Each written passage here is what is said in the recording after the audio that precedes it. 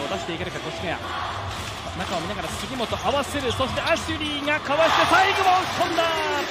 ハードンです。いや迫力十分のダンク。今度は左から右です。おおすぐさまこのスピード上げて飛び込んでいった。杉本エンドワン。ファウルをもらいました。いやーやっぱり得点力あります。以前の越谷のゲームでも課題に挙げていたんですがその対処できるか。あったバッツとそのキックアウトから松山また決めた松山が止まらなくなりました！グッチがもう1回小寺あーシャトルロック3秒になっている。LJ ピークの2ポイント。難しいシュート決めています。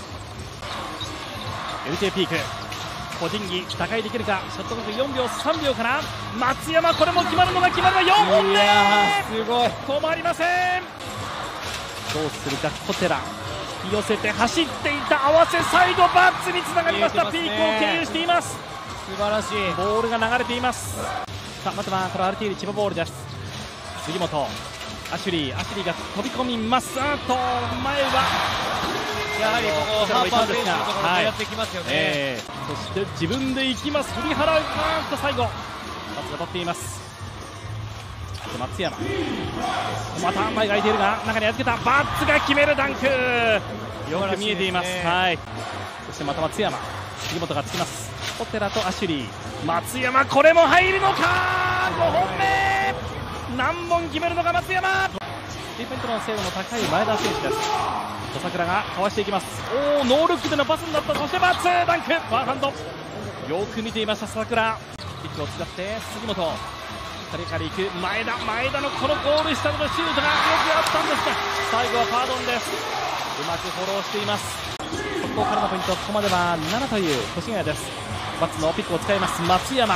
松山左手押し込む決めてきた。松山得点を伸ばし続けます。